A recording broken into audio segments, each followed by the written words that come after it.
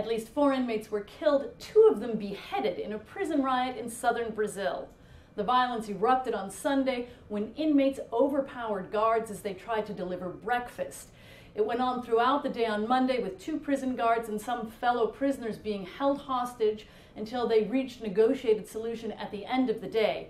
The prisoners had been demanding better conditions, better food, and more flexible visiting rights. Uh, but it turns out one of the agreements that they reached is that some 600 prisoners will be transferred to other jails. There were about a thousand when the riot began. Now, the two people who were beheaded were beheaded right at the beginning of the riot. Two others were pushed off of a roof of one of the cell blocks.